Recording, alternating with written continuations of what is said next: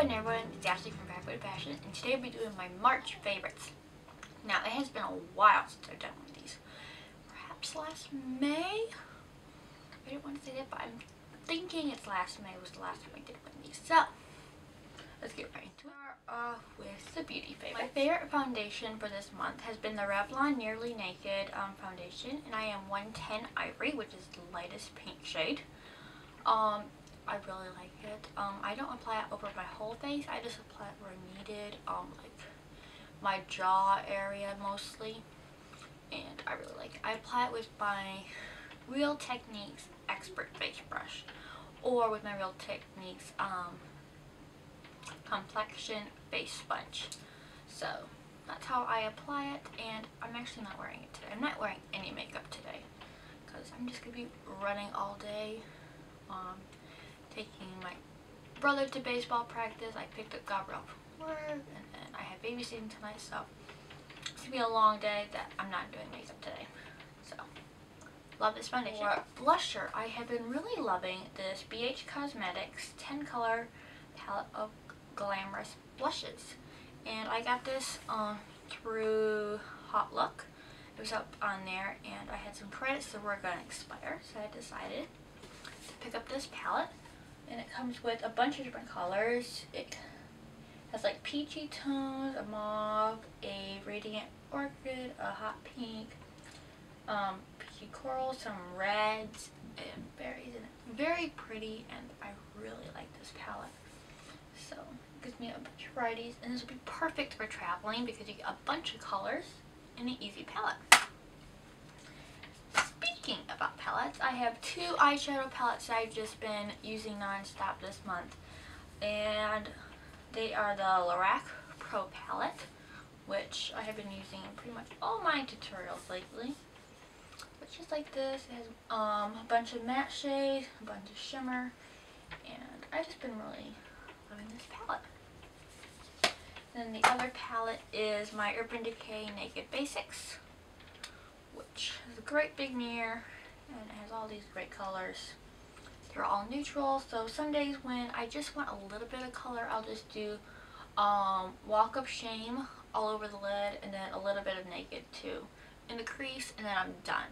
So I just have like a little bit something and then I'll just put some mascara and maybe a BB cream and some blush or some something like that. I just like to keep it simple on some days.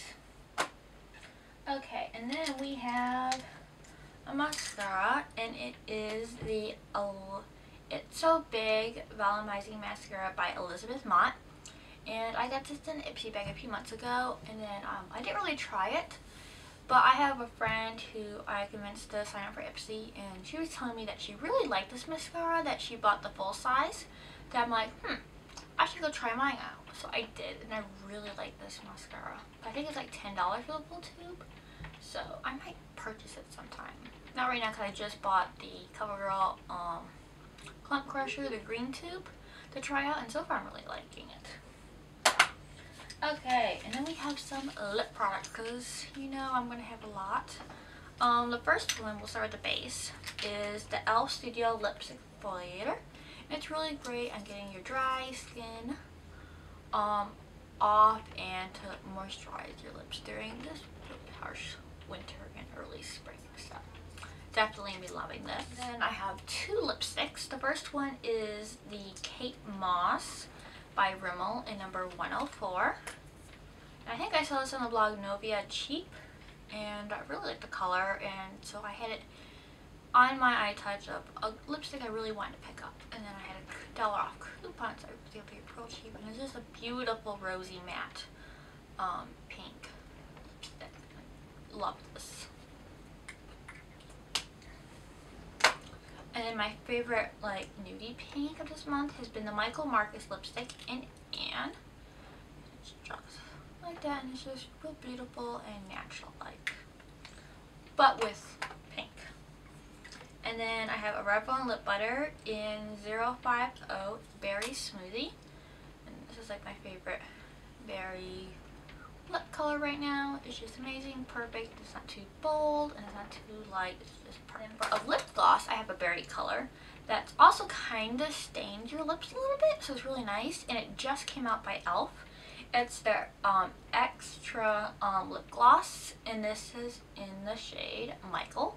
And I actually found this at a different Target than I normally go to. I found they had a ton of um, e.l.f. stuff, and they had a bigger um, beauty selection than the one I typically go to. So I can go there from now on for some my beauty stuff. But it's really nice, and there's a, a hint of shimmer, but it doesn't come off too shimmery on the lips. And it, it really is a great gloss by e.l.f. So definitely check these out. Um, I definitely want to try, try out more color. nail polish, I have been really loving the Rimmel London um, 60 second polishes, which I think just came out in the States. Um, I think they came out in the UK last year, or perhaps the end of last year. But I have three shades. I have Caramel Cupcake, which is like a perfect like nude deep um, brown for me, where it looks like I'm not really wearing too much color. And then this la lilac, which is I lilac you. And then if I want to see the color for this one, right, is Insta Coral. It's a little brighter than I would like, but it's kind of pretty. So I like. So that is all my beauty favorites. Um, let me look at my list. Okay, we're gonna go backwards through my list. We're gonna do fashion. So one of the things I've been really loving is this J. Crew strawberry button down that I picked up at Clothes Mentor um, this month and I think I got for $14 and it's so soft and perfect to wear um, with jeans and skirts and everything and dresses that I've just been loving this and I've been wearing it a, a lot like more than you've seen on the blog like some weeks I will wear it three times that week layered and styled a different way every time so definitely been loving this Another thing I've been loving are my gingham shirts. I have one by the brand Sanctuary, which was from Anthro. And I got this at Clothes Mentor too, and this was $14 also. And I have a recent outfit post of me wearing this, and I just love this shirt. And then I also have one from Forever 21 that I got for $14, I think. Um, that I really like too. This is perfect. And I have worn this on the blog too. So all these I have worn. If I can find, I'll try to find the links for when I've worn these on my blog and put the links down below so you can see. And then um, me and my sister Gabrielle did a tr closet trade where she traded an item to me and I gave her an item that she's really been wanting.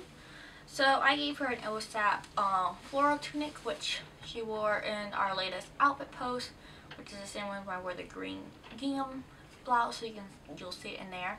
And she gave me this um, Banana Republic skirt, which is black. Um, this is A-line, a full A-line, and it's from their Mad Men collection back in 2011. So I really love this, and she got this at um, a local shop, I believe, called Simply Chic. I believe that's where she got it. So I've been really loving this and all the shirts I showed you would would go with this skirt. So, little matches. Okay, TV shows. Um, my dad got me hooked on the show 24.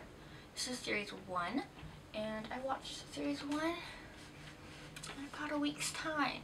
So I haven't started the second series yet because I'm so busy and I don't have time to. So I'm hoping at the end of April and beginning of May I will have some free time so I'll start watching up 24 again then because it's really intense and you will not want to stop watching the show once you start. You just want to keep watching until it's done because it takes place, each episode is one hour in real time which makes it for a really cool show that I really like it and I though I did see some things coming and I knew who the real mole was, so I guess I watched too much Sherlock and read too much Sherlock Holmes and I guess I rested them.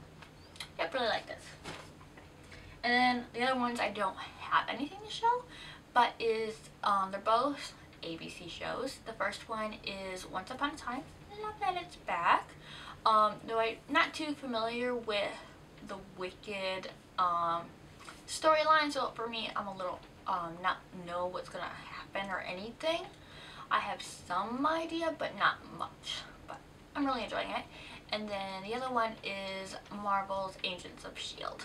Love that show, and I'm glad it's still going because I really like it. And I really hope they do the um, the show on um, Peggy Carter will be picked up. I think it has. I'm not sure. Positive. But I really hope it is because I would love to see a show on Peggy. Okay. Music. I have three bands that I have been really loving this month. The first one is Twin Forks. They are an American band that um they're like folksy um Americana um rock light rock um kind of music group. Um I'll have a link to them down below which I've been really liking their music. And then Bastille, um, really them, like Pompeii, um, what's the Things We Lost in the Fire, loving those two songs by Bastille and they are a UK group. And then the third one is London Grammar and they are another UK group. And the song that I've been loving is Metal and Dust, Strong, um, Wasting Our Young Years, practically their whole album I love. Same for Bastille and Twin Forks. But I'll have links down below to them and then maybe perhaps my favorite songs. So I'll have it down below. So that is my March favorite. I hope you all enjoyed this video and let me know what has been your favorites for this month down below in the comments. And I'll see you on my next video. Bye everyone.